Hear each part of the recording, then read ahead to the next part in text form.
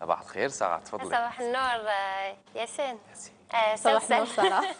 غبتي علينا سيدي صباح الخير سارة؟ تشرفنا من شروق مورنينغ آه، من الأحوال الطقسيه اذا آه، صباح الخير عليكم.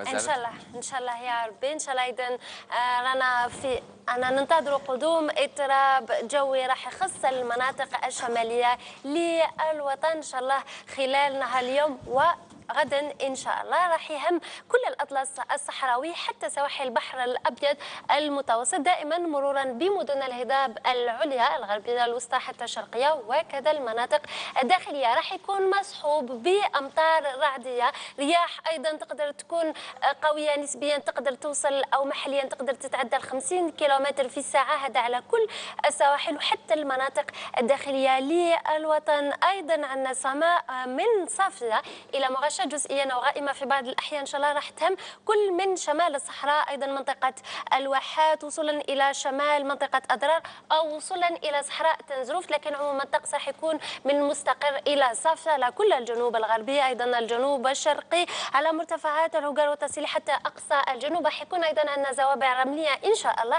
هذا راجع دائما للرياح القوية المتمركزة على كل من منطقة الثورة أيضا منطقة الواحات وحتى في وسط الصحراء. فيما يخص درجات الحرارة لنهار اليوم بإذن الله. أيضا راح تعرف انخفاض محسوس ونحن نسجلوا على المناطق الساحلية 13 درجة على السواحل الوسطى 16 على السواحل الشرقية للوطن. عندنا 11 على وهران مستغانم وحتى بني صاف في المناطق الداخلية عندنا من 10 حتى 15 درجة على مدن الهضاب العليا الغربية. عندنا 8 درجات فقط 13 على مدن الهضاب العليا كمنطقة الأوراس حتى على سطيف وخنشلة عندنا 13 درجة 22 درجة على كل من منطقة الواحات كورقلة وحتى منطقة تندوف وحتى على مرتفعات الهوغار والتصيلي عندنا 25 درجة أيضا راح تكون على كل من عين صالح أيضا اضرار وحتى أقصى الجنوب. 21 درجة على كل من غردايه رقان وبريان و24 درجة إن شاء الله على منطقة إليزي البحر قبل ما نروحوا البحر منذ وقت طويل ما شفناش درجات حرارة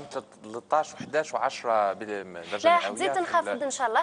غدا إن شاء الله يعني راح نزيدوا نحسوا إنه درجات الحراره حتزيد تنخفض نوعا ما دائما راجع للاضطراب الجوي اللي هو متمركز على وهي درجات. حرارة موسمية طبعا أكيد. ما يعني هي جد طبيعية وموسمية. على هذا إن شاء الله يبقى دائما طقس هكا لنهار الغد بإذن الله. لكن راح يبقى راح يبدأ يتحسن ابتداء من نهار الخميس لكن دائما تبقى على المناطق الوسطى والشرقية. يبقى دائما اضطراب جوي يهم هذه المناطق. لكن ابتداء إن شاء الله من نهاية الأسبوع راح يبدأ الطقس يتحسن. يعني نقدر نقولوا عليها أجواء ربيعية. نعود رجوع الاجواء. أها.